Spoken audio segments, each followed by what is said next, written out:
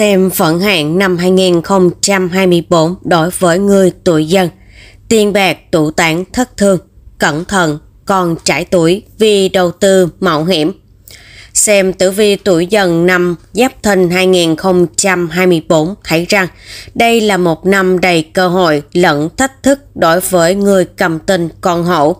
Tiền bạc có biến động rất mạnh, vào ra thất thường cẩn trọng hết sức với các hạng mục đầu tư mạo hiểm khi nền kinh tế đang lao dốc.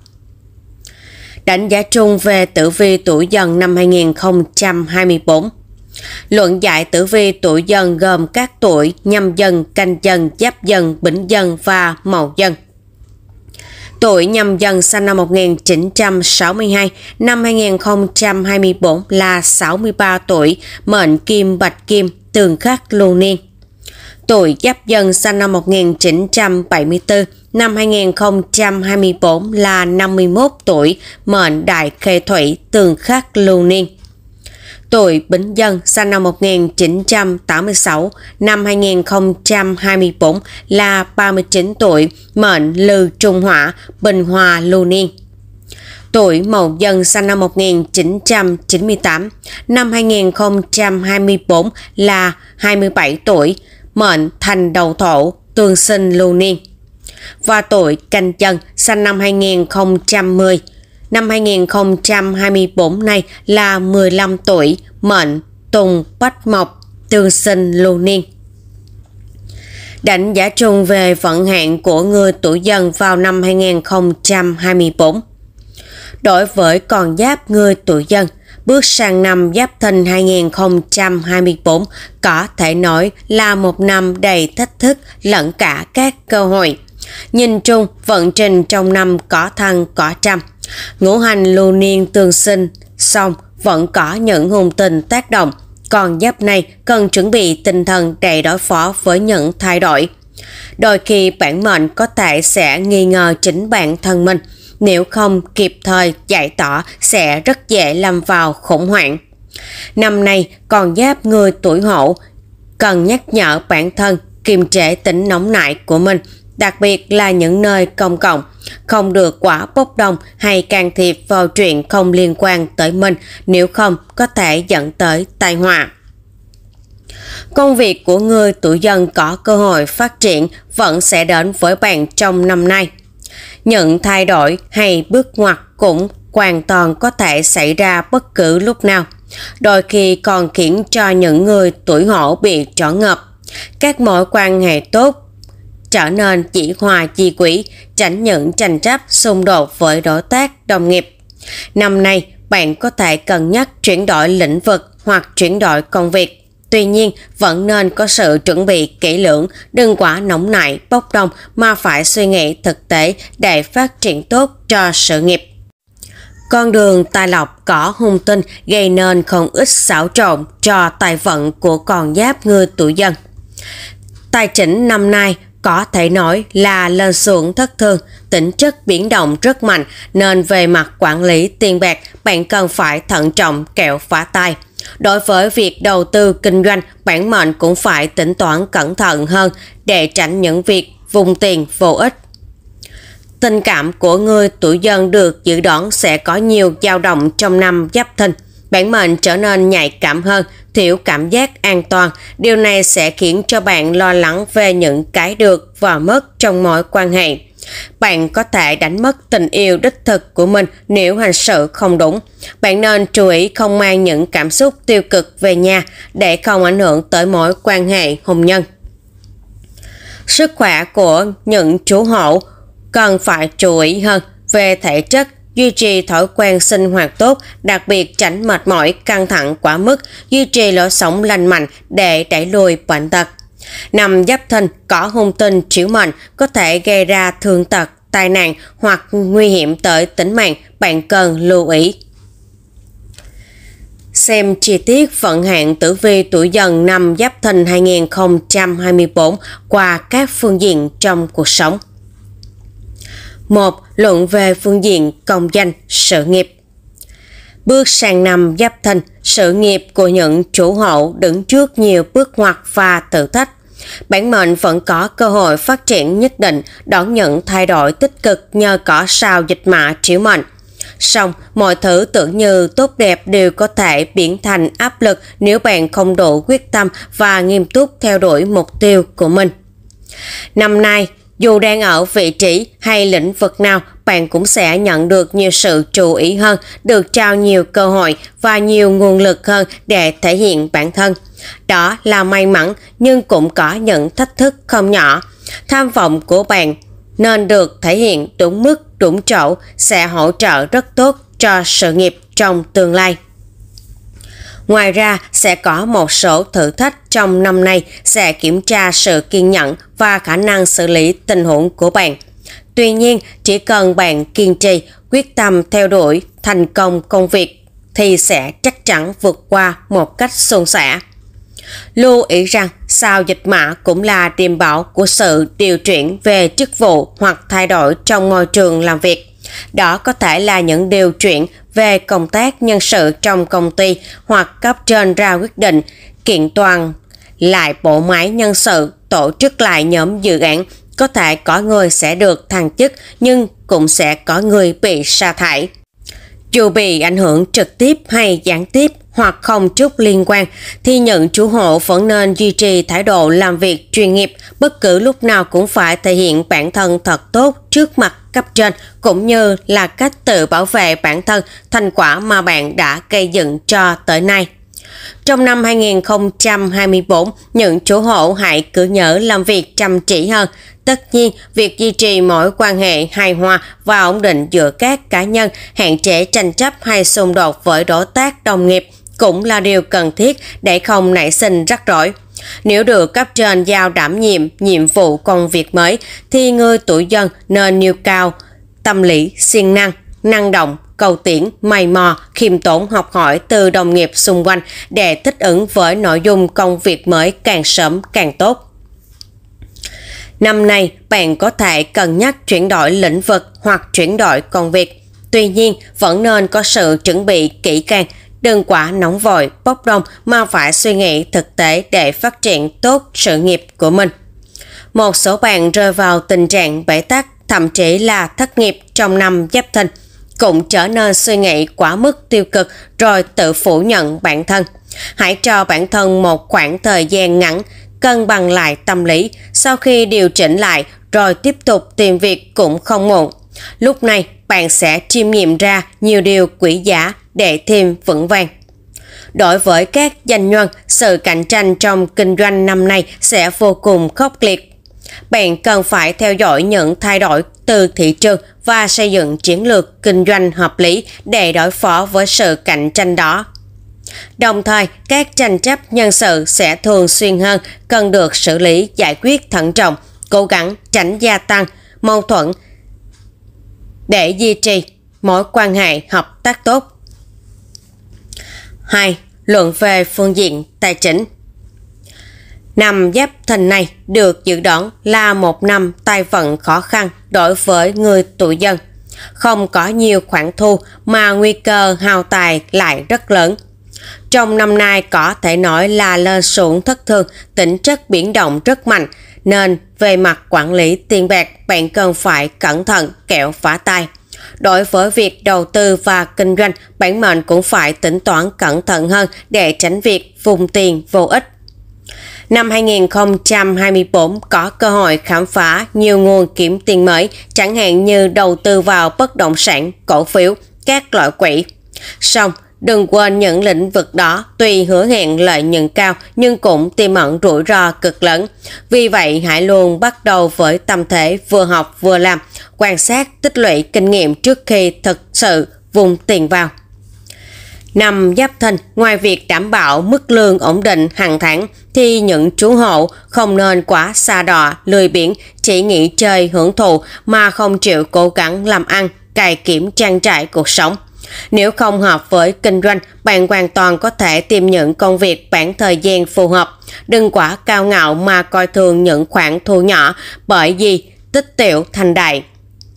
Nhiều món nhỏ gộp lại sẽ thành món lớn. Khoảng thời gian mùa thu năm Giáp Thìn được dự báo là giai đoạn có nhiều biến động tài chính thường xuyên nhất nên cần phải luôn đề cao cảnh giác, thận trọng trong các quyết định về tiền bạc. Hãy cẩn thận không bỏ tất cả trứng vào một giỏ mà bạn nên đa dạng hóa các khoản đầu tư của mình để giảm thiểu rủi ro. Năm nay, bản mệnh sẽ có rất nhiều khoản cần phải chi tiêu. Ngoài những nhu cầu sinh hoạt thường ngày mà trai hiểu hỷ thì những dự định làm ăn thiếu hiệu quả cũng tiêu tốn của người tuổi này một khoản không nhỏ. Ngoài ra do bị ảnh hưởng bởi hung tinh tiểu khách, không chỉ bản thân họ mà cả người thân, bạn bè xung quanh của người tuổi dân cũng có thể tiềm ẩn những nguy cơ về sức khỏe. Điều này cũng gây tổn thất nhất định về tiền bạc khi dùng tiền để chạy chữa bệnh tình. Đồng thời, do ảnh hưởng của các sao xấu, người tuổi dân dễ gây ra xích mích với những người xung quanh. Có thể gây ra xung đột về thể chất dẫn tới những rắc rối, chi phí không đáng có. Vì vậy, những chủ hộ cố gắng kiểm soát cảm xúc nóng nảy, hạn chế tối đa bạo lực, nhất là khi trao đổi với người thân, bạn bè, đồng nghiệp hay đối tác. Bạn nên chú ý hơn tới lời nói lẫn hành động của mình, tránh nói ra hoặc làm những điều quá khích, chỉ để thỏa mãn cơn nóng giận nhất thời của bản thân. Nhìn chung, duy trì mức luân chuyển vốn ổn định, tiết kiệm nhiều hơn và không ngừng nâng cao quản lý tài chính là chìa khóa để bạn an tâm ứng phó với những biến động tiền bạc trong năm Giáp Thìn. 3. Luận về phương diện tình cảm gia đạo Phương diện tình cảm của người tuổi dân trong năm 2024 chịu ảnh hưởng không nhỏ từ trạng thái cảm xúc bất ổn. Những chủ hộ sẽ bị hung tinh, thiền khốc ảnh hưởng. Tình cảm dao động lớn trở nên nhạy cảm và thường cảm thấy thiếu an toàn trong các mối quan hệ, từ đó nảy sinh cảm giác đa nghi hay ghen tuông giận hơn. Mối quan hệ giữa các cặp đôi không được ổn định, thường xuyên xảy ra hiểu lầm do hành động hoặc lời nói vô ý. Hai người lại không sẵn lòng trao đổi và giải quyết kịp thời, điều này sẽ chỉ khiến mâu thuẫn ngày càng sâu sắc hơn. Cuối cùng, cả hai có thể tỉnh tới việc chia tay. Chính sự nghi ngờ lẫn nhau thường xuyên dẫn tới xung đột. Hai bên nên tôn trọng ý kiến của nhau, sẵn sàng bao dung, thấu hiểu để cùng nhau hướng tới một tương lai tốt đẹp hơn. Năm nay sẽ là một thách thức đối với các cặp đôi đang trong quá trình yêu đương tìm hiểu. Nhưng nếu sau tất cả những sóng gió đỏ, cả hai vẫn nắm tay cùng nhau vượt qua thì đích đến hạnh phúc đang nằm ngay trước mắt chờ đón hai bạn. Đối với những người đã kết hôn, năm 2024 cũng sẽ gây ra nhiều khúc mắc trong hôn nhân. Cả hai đều có tâm lý trốn tránh, không muốn trực tiếp giải quyết. Nếu cứ lựa chọn cách tránh né như vậy để chiến tranh lạnh kéo dài, không khí gia đình hậm hực đè nén, đợi đến ngày mà sự bất mãn tích tụ đến đỉnh điểm và bùng nổ hoàn toàn đổ vỡ là điều khó tránh khỏi. Vợ chồng có mâu thuẫn thì nên tích cực trao đổi để giải quyết, thấu hiểu và quan tâm lẫn nhau, cùng nhau duy trì sự hòa thuận trong gia đình. Đó mới là cách giữ gìn hôn nhân bền vững. Ngoài ra, bạn cũng nên lưu ý rằng những bất mãn về công việc nên để bên ngoài cánh cửa gia đình trở nên mang những cảm xúc tiêu cực về nhà rồi trút lên đầu người thân. Họ không đáng và không có nghĩa vụ phải chịu những điều đó từ bạn. Những người bạn độc thân có nhiều cảm xúc tiêu cực trở nên khép kín và sống nội tâm hơn. Điều này ảnh hưởng không nhỏ tới nhân duyên của bạn trong năm Giáp Thìn. Cho dù có người xung quanh giúp đỡ, giới thiệu ai đó, bản mệnh cũng không muốn mở lòng, gặp gỡ hay tiếp xúc. Vòng bạn bè của bạn vốn rất hẹp nhưng lại càng khó thoát khỏi cảnh độc thân. 4. Luận về phương diện sức khỏe Xem vận hạn năm Giáp Thìn 2024 thấy rằng sức khỏe của những chủ hộ không mấy lý tưởng do chịu tác động từ hung tinh tiền khốc và điệu khách. Vấn đề an toàn cần được lưu tâm hàng đầu trong năm nay. Còn giáp người tuổi dần có thể bị bất cẩn hoặc và vấp té ngã mà bị thương tai nạn, điềm bảo cho thấy cỏ hỏa đổ máu, chú ý khi sử dụng các vật sắc bén mũi nhọn. Đồng thời cũng phải nâng cao nhận thức về biện pháp phòng ngừa an toàn trong quá trình làm việc, tuân thủ luật giao thông khi di chuyển đi lại để bảo vệ an toàn cá nhân và phòng tránh tổn hại lẫn thể chất tinh thần. Cuộc sống hàng ngày cần được chăm sóc đặc biệt để tránh ngã quỵ, vì ngay cả những vết thương nhỏ cũng có thể gây hậu quả nghiêm trọng. Những người có thói quen tập thể dục, thể thao nên tránh luyện tập quá mức để giảm nguy cơ chấn thương. Công việc có nhiều áp lực cũng ảnh hưởng tới sức khỏe tinh thần của bản mệnh. Bạn nên cố gắng giải tỏa tâm lý, suy nghĩ tích cực, đừng ôm đồm quá nhiều việc vào người mà đổ bệnh. Dù bận rộn đến đâu cũng nên chú ý tới cơ thể, đảm bảo thời gian làm việc, nghỉ ngơi đều đặn, hạn chế tối đa việc thức khuya để không ảnh hưởng tới sức khỏe. Ngoài ra, còn giáp người tuổi dân cũng nên lưu ý tới tình trạng sức khỏe của người cao tuổi trong gia đạo, thường xuyên quan sát để có thể phát hiện sớm những triệu chứng bất thường, kịp thời chạy chữa, can thiệp y tế phù hợp. Xem tử vi năm Giáp Thìn 2024 đối với từng tuổi dân như sau. 1. Tuổi nhâm dân sinh năm 1962, mệnh kim. Bước sang năm Giáp Thìn, người tuổi nhâm dân có nhiều cảm xúc tiêu cực, thường xuyên nổi nóng, đôi khi chỉ là những chuyện nhỏ nhặt không đáng kể, nhưng bản mệnh có những cách hành xử cực đoan dễ dẫn tới tranh cãi hoặc sức mẻ tình cảm. Điều này không chỉ làm xấu đi các mối quan hệ mà còn ảnh hưởng tới sức khỏe của mệnh chủ. Ở độ tuổi hiện tại, bạn nên suy nghĩ thoáng hơn, tích cực hơn, giữ thái độ lạc quan để cuộc sống nhẹ nhàng và cả những người xung quanh cũng cảm thấy thoải mái. Khi gặp chuyện không như ý, đừng vội phản ứng một cách gay gắt, điều gì cũng có thể cho qua, thì hãy cho qua. Sức khỏe không có vấn đề gì nghiêm trọng, cũng không có quá nhiều bệnh tật quấy rầy, chỉ cần chú ý nhiều hơn trong việc chăm sóc khí quản và hệ hô hấp, ăn nhạt và ít dầu mỡ, chế độ ăn uống lành mạnh là tốt. 2. Tuổi Giáp Dân, sinh năm 1974, mệnh Thủy. Trong năm 2024 này, tình hình tài lộc của người tuổi giáp dân không được khả quan cho lắm, vì có quá nhiều khoản phải chi tiêu. Về gia đạo, mối quan hệ giữa các thành viên có nhiều khúc mắc, xảy ra nhiều mâu thuẫn vì những vấn đề quyền lợi. Người thân cãi vã hoặc có thể trực tiếp xảy ra kiện cáo. Những chuyện này sẽ khiến cho bản mệnh cảm thấy rất cáo cảnh và muộn phiền. Về mặt sức khỏe cũng cần chú ý tới chế độ ăn uống, ăn ít thịt để không tăng cholesterol. Cao huyết áp, tiểu đường, đồng thời đừng đặt quá nhiều áp lực cho bản thân. Nếu bạn có sức khỏe tốt và tâm trạng vui vẻ thì mọi chuyện sẽ ổn hơn. 3. Tuổi Bính Dân, sinh năm 1986, mệnh hỏa. Vận khí của người tuổi Bính Dân rất ổn định trong năm Giáp Thìn. Năm nay, bản mệnh tập trung phần lớn thời gian và sức lực cho sự nghiệp cá nhân. Tuy nhiên, tính chất công việc lặp đi lặp lại ngày này sang ngày khác có thể gây ra cảm giác nhàm chán. Người tuổi dần sinh năm 1986 tuy có hoài bão và tham vọng lớn, nhưng tình hình chung năm nay không mấy ủng hộ, cơ hội thuận lợi cũng không nhiều nên tốt nhất bạn nên làm tốt công việc hiện tại thay vì nghĩ tới việc thay đổi. Đừng nghĩ việc một cách vội vàng, càng không nên cõi tưởng nghĩ việc để khởi nghiệp. Đây là nước đi hết sức mạo hiểm trong năm Giáp Thìn. Ngoài ra, người tuổi bính dân cũng nên chú ý tới sức khỏe, xây dựng chế độ ăn uống điều độ, không nên ăn quá nhiều đồ dầu mỡ, đồ lạnh, nếu không có thể mắc các bệnh về đường tiêu hóa. 4.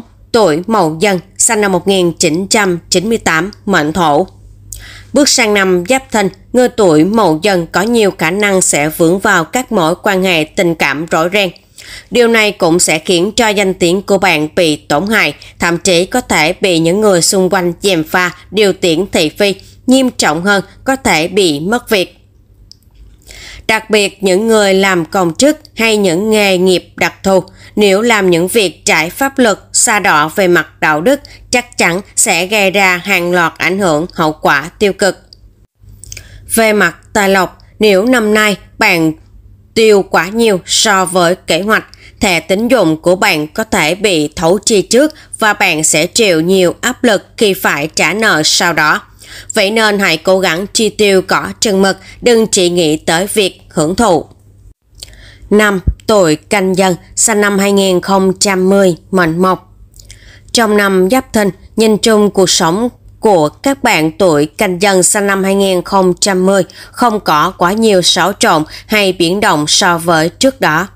Bản mệnh vẫn có ý thức học tập nghiêm túc, ít khi phải để phụ huynh hay giáo viên phàn nàn.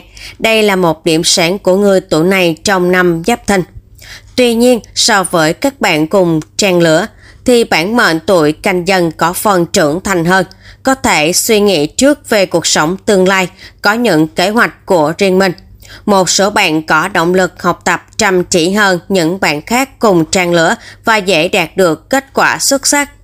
Bạn có thể chia sẻ với cha mẹ hoặc người lớn trong nhà để được khuyên bảo đúng hướng. Về phía phụ huynh, dù có đông ý kiến với những ý tưởng tương lai của con cái hay không, bạn vẫn nên tôn trọng việc trẻ đã tin tưởng tâm sự với bạn. Sau đó mới có sự uổng nắng cần thiết một cách khéo léo, đừng quá cứng nhắc hay cảm đoán quá vội vàng ngay từ đầu kẹo phản tác dụng. Xem vận hạn năm 2024 đối với con giáp người tuổi dân qua 12 tháng trong năm. Tháng 1 âm lịch, dục tốc bất đạt tránh đầu tư mạo hiểm hoặc làm ăn theo đường mòn, lõi tắt, kẹo tiền mất, tật mang, sức khỏe giảm sút, đi đứng cần phải cẩn thận kẻo bị tẻ ngã gây tổn thương tử tri. Tháng 2 âm lịch, tháng này làm việc có nhiều áp lực, ít vận quỷ nhân, việc gì cũng đến tay khiến đường sổ lúc nào cũng tất bật căng thẳng. Gia đạo bất ổn có nhiều sự hiểu lầm gây rạn nứt trong mối quan hệ lửa đôi tháng 3 âm lịch phải đưa ra quyết định tài chính quan trọng nếu thiếu sản xuất sẽ bị lừa gạt sổ tiền lớn đề phòng mất cấp của cải. Tháng 4 âm lịch Tháng này xuất hiện thách thức trong công việc nhưng đồng thời cũng có cơ hội để bứt phá tạo dấu ấn riêng trong tập thể. Trong nguy có cơ, làm tốt còn được cất nhắc. Trong nhà có hỷ tính, tình cưới hỏi hoặc sinh con đẻ cái tháng 5 âm lịch. Tháng này cẩn thận đường sông nước tránh tai nạn bất ngờ. Tai lộc có dấu hiệu khởi vượng nhưng chi tiêu vẫn nhiều, hầu như khó tích lũy. Việc làm ăn có cơ hội mở rộng ký kết hợp đồng lớn. Có quý nhân hỗ trợ về mặt tiền bạc, xoay vòng vốn, làm ăn khá thuận. Tháng 6 âm lịch Tháng này chuyện tình cảm bất ổn có kẻ thứ ba xen ngang phá hoại, đề phòng hỏa hoạn. Đi lại cẩn thận, tránh va vẹt xe cộ. Tháng 7 âm lịch, tránh đầu tư mạo hiểm hoặc tham gia các trò mài rỗi kẹo trải tuổi rơi vào cảnh nợ nần. Sức khỏe giảm sút, đề phòng các bệnh về mắt hoặc hệ thần kinh. Tháng 8 âm lịch, trong gia đình có điềm tan trễ, đi xa bất lợi có thể bị nhỡ xe, bỏ dở hành trình hoặc mất trộm tiền của quý giá. Tháng chỉnh âm lịch Tháng này công việc có tiến triển tích cực, chuyển công việc hay lĩnh vực cũng có lợi tại thời điểm này, đường sổ nên cân nhắc. Tháng 10 âm lịch có dấu hiệu dịch chuyển môi trường làm việc hoặc thay đổi chức vụ. Sự dịch chuyển mang tính chất tích cực nên chăng là cơ hội tốt để thử sức. Tiền bạc tiêu hao nhiều, phần lớn để giúp đỡ người thân trong gia đạo. Tháng 11 âm lịch thu nhập có sự gia tăng do nhận được lương, thưởng hoặc nguồn thu phụ. Việc làm ăn tuy bận rộn nhưng đạt được kết quả khả quan, có thể được đề bạc thăng tiến. Tháng 12 âm lịch Cơ thể suy nhược do áp lực tinh thần, ưu tiên nghỉ ngơi, ăn uống cẩn thận kẻo bị ngộ độc thực phẩm trong các buổi tiệc tùng. Trong nội tộc có điềm tàn trễ, đi xa có lợi về tiền bạc nhưng hại về sức khỏe. Kết luận vận hạn tử vi năm 2024 đối với người tuổi dân. So với vận hạn năm Quỷ Mão 2023, vận trình xuyên suốt năm Giáp Thìn 2024 của người tuổi dân kém sắc và có nhiều khó khăn hơn. Trong năm, vận quỷ nhân mỏng, đường sổ tự lo, tự làm, tất bật vất vả mà thu về thành quả chưa thật sự tương xứng. Một phần vì các tinh ích hỗ trợ kém cho vận trình, một phần cũng là vì khó khăn chung của nền kinh tế khiến công việc mà bạn đang làm bị tác động đáng kể. Nhìn chung, năm 2024 là một năm đầy cơ hội và thách thức đối với những chủ hộ, cần giữ thái độ tích cực và khả năng thích ứng linh hoạt để nắm bắt cơ hội đón đầu tương lai tốt đẹp hơn.